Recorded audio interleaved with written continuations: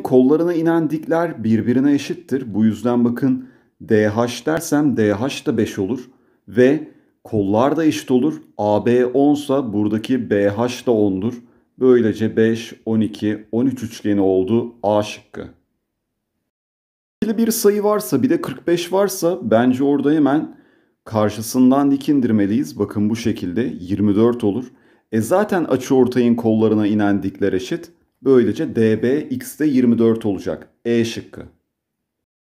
Açı ortayın kollarına inen dikler birbirine eşit ya arkadaşlar. Şimdi burada şöyle bir dik indirdiğimiz zaman 4. E hipotenüs bir kere en büyük kenardır. X 4'ten büyük olmalı. En az 5 oldu. E şıkkı. Katlamada arkadaşlar bazen ben şekli katlıyorum. Bazen de katlanmış şekli geri açıyorum. Burada bakın son şekilde katlanmış şekli geri açarsak bir önceki hali ikinci haldeki görüntüsü budur. Katlamada açı değişmez. Bir de uzunluk değişmez. Buradaki DC üssüyle DC eşittir. İlk hale dönmek istersek orada da yine katlamada bakın eski haline getirdiğimizde görüntüyü şöyle CD'yi devam ettireyim. Bakın bu. Sonuç olarak burası da böyle. Yine eski halinde burası A açısıydı. Şimdi yine AB ile A üssü B eşittir. Buradaki AD ile de DA üssü birbirine eşittir. 6, 6. Burası 12. Buralar da yine 6 bakın. Şu kısmı o 6'yı 12 verdiği için. Sonra dikkat. Burada alfa dersek açı değişmeyeceği için alfa. Beta dersek yine beta açı değişmeyeceği için 2 alfa artı 2 beta 180 alfa artı beta 90 oldu. O zaman zaten şuradaki DA üssü 6 olduğu için dikten dikinde öklit 36 eşittir A üssü E çarpı 12 yani burası 3'müş. Şimdi arkadaşlar bundan sonra 2A'ya A diyelim. Neden? Açı ortayda bakın bu kolun parçasına oranı bu kolun parçasına oranı 2'ye 1 olması lazım. 6 3 artı A 2A özel bir üçgen. A'ya 5 verirseniz bakın 6 8 10 geliyor. A'yı 5 bulduk pardon şunu bir düzelteyim geri. Ee, burada artık A'yı 5 bulduk. 2A 10 oldu. Ne demiştim sorunun başında? DC ile DC üssü birbirine eşit. Demek ki o zaman 10 olması için bu DC üssünün 4 kaldı. Burada Pisagor 12 4 4 kök 10 arkadaşlar A şıkkı.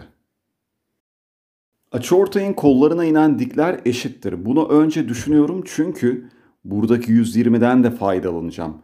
2 kökçü olduğu için 2 kökçü olur DH ve arkadaşlar 60'ın karşısı 2 kök 3 ise 30'un karşısı 2'dir. 90'ın karşısı 4'tür. HC7 olduğu için kollar da birbirine eşitti. X de 9 olacaktır. B şıkkı. Şu ortayın kollarına inen dikler eşit ya arkadaşlar. Şu CD'yi uzatırsak şöyle. O zaman bir de bu kola böyle dik indirirsek 21 tamam. Bir de 8 gördüğünüz gibi birbirine eşit. 8, 15, 17 üçgeni tamamı 21 olması lazım kolların eşit olması için. X'e 6 kalır. D şıkkı. Ortayın kollarına inen dikler birbirine eşittir. Hatta kollar da birbirine eşittir. Bu yüzden şöyle bir DT uzunluğu dersek 3 olur arkadaşlar. Burası da 2 olur. AT uzun. Gerçi F demişim oraya artık F diyeyim madem öyle.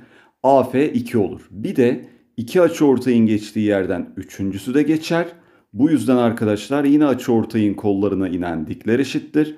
Buraya da L diyelim. De, o neydi o? DL ile LF, DF eşit olur. Aynı zamanda AF ile de AL eşit olur. Burası bakın 2 olacaktır. Şimdi artık şu BL'ye x dersem bakın BH'da x olur. Şöyle bir dik üçgen oldu. Bir kenarı 5, bir kenarı x artı 2, diğer kenarı x artı 3. 5'li özel üçgen 5, 12, 13 var. Gerçekten x'e 10 verince bakın 5, 12, 13 kavramına da uyuyor. ABC üçgeninin çevresi 12 artı 13 artı 5'ten 30 oluyor arkadaşlar A şıkkı.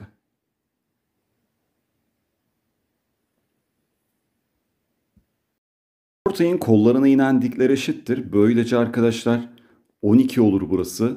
5, 12, 13 üçgeninden burası da 5'tir. CB'de 5 olur. Bizden AD'yi istiyor. Bakın buraya ne kaldı? 16. 12, 16, 20 üçgeni AD uzunluğu C şıkkı. Şimdi kollara inen dikler birbirine eşittir diyeceğiz ama bakın burası 15 olduğu için bunu biraz daha böyle uzatmamız gerekiyor.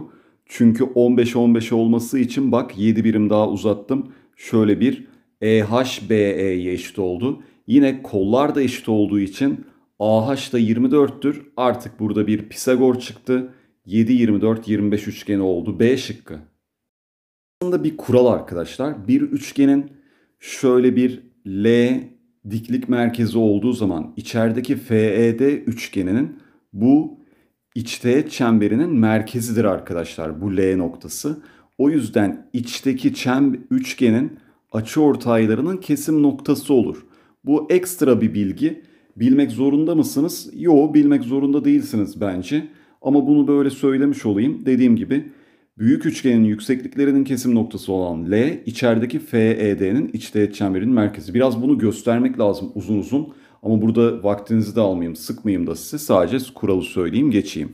FD 12, ED 8, FE'de 7 verilmiş. 8'in 12 oranı nedir? Sadeleştirirsek 2 bölü 3 değil mi? O zaman burası 2K'dır. Burası da arkadaşlar 3K'dır. Kenarların oranı, parçaların oranı. 5K eşittir 7'den. K 1.4. Bize 2K lazım. 2.8 D şıkkı. Şu ortay yapabilir miyiz? Şöyle bir düşünelim. Çünkü 3 alfaya alfa var ya. Bir de dik indirilmiş. Bak şöyle bir şey yapıyorum. Alfa kadar buradan aldığım zaman kopardığımda şöyle bir K diyelim. AH ile HK eşit olur değil mi? Açı ortay kopardım. O aynı zamanda yükseklik. Haliyle arkadaşlar şu kısmada 2 alfa kalmış oldu. KBC açısına.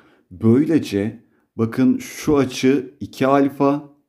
Yine bu açı da 2 alfa. O zaman şöyle bir açı ortay oldu. BK doğrusu. 18'in 24'e oranı sadeleştirirsek 3 bölü 4 yapar. Kesirlerle uğraşmak istemiyorum. Ben buraya 3A yazacağım. Buraya 3A yazacağım. Buraya da 8A yazacağım. Tamam mı? Şimdi şuraya x dersem. Burada arkadaşlar ikiz kenardan dolayı da BK 8 olur değil mi? Sonuçta AB ile BK birbirine eşit yükseklik açı ortay kenar ortaydan dolayı. Bakın şunları bir siliyorum. Şu üçgende Pisagor. HBK'da neye eşittir? 18'in karesi eksi 3A'nın karesi. Doğru mu?